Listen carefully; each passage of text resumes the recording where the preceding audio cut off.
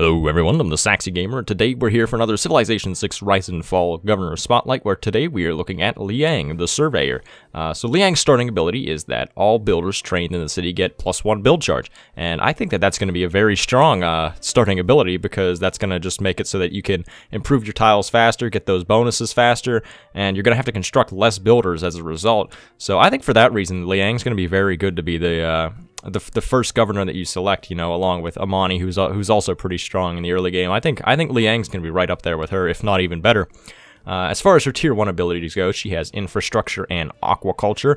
Infrastructure provides plus 30% production towards city center and government plaza buildings. So that's going to be stuff such as your granary, your water mill, city walls, and government plaza. If you uh, if you have if you don't know what a government plaza is, check out the latest Civ 6 news video where I, I talked about that a bit.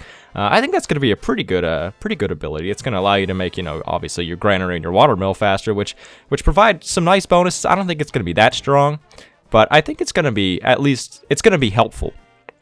Uh, aquaculture uh, actually grants a unique tile improvement, which is the fishery, which can be built uh, on coastal plots, and it's effectively a farm for coastal plots. It provides one food, and then an additional one more food if it's adjacent to a sea resource. Uh, so I think for some civilizations, especially the naval-focused one, uh, aquaculture is going to be a very strong ability, because it's going to allow you to just grow your population really fast, provided that you have the housing space for it. Uh, so I think that's going to be very strong situationally.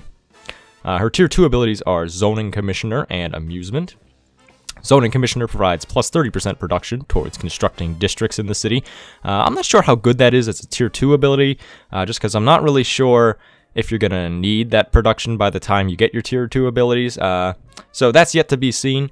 Uh, it, it is possible that you might you might still have a lot of places where you need to construct districts, so that that could be good. Or if you're just making a new city, it'll help it'll help you uh, start the city up faster, get those districts up real nice and early. So I, I think that's still a pretty okay ability. Uh, amusement provides plus 30 production towards entertainment complex and water park buildings in the city. Uh, once again, I think that's just okay because I don't find myself constructing entertainment complexes very often. But uh, provided that you need them, that actually is going to speed that up a lot. Uh, interestingly enough, uh, it mentions water park buildings, which I am not aware of what a water park building is or what a water park is in general. Uh, so maybe this could be a new district in Rise and Fall. Perhaps it provides uh, tourism or loyalty or more amenities or anything of the sort. Uh, if you have any ideas about that, feel free to put them in the comment section below.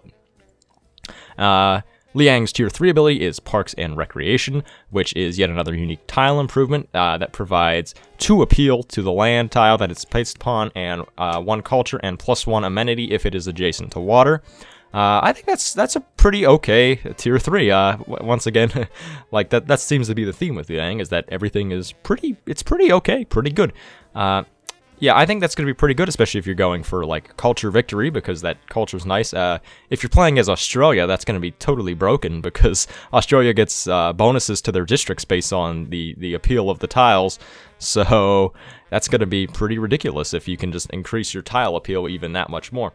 Um, as far as some recommended use cases for Liango, uh, obviously in the early game, if you want to just bolster your, your tile improvement game, you want to get those tile improvements up really fast, get the bonuses, uh, getting that plus one build charge is going to be very nice. So so I can definitely recommend Liang as being one of the first governors you uh, you happen to get in Rise and Fall. Uh, another thing I think you can do with Liang is if you wanna you wanna play wide, you wanna just get cities up fast and get them actually built up pretty decently. I think Liang is gonna be very good for that because you can get your districts up fast, you can get your uh, your uh, your your city center buildings up fast, and I think that's gonna be very helpful. And even if you're thinking about playing a culture game, I think that Liang could be pretty helpful because of parks and recreation. And also it can just get you a lot of a lot of population and a lot of a lot of districts that can help provide culture or tourism or anything of the sort. Uh, so thank you for watching. I've been the Saxy Gamer. If you enjoyed the video, feel free to like. If not, feel free to dislike. If you're looking for some more Civilization 6 news, feel free to subscribe. Uh, I am doing one governor video every day this week until I run out. Uh, there are only two left. If you haven't seen the other ones, I'll link the playlist in the video description below. But until then, thank you for watching, and goodbye.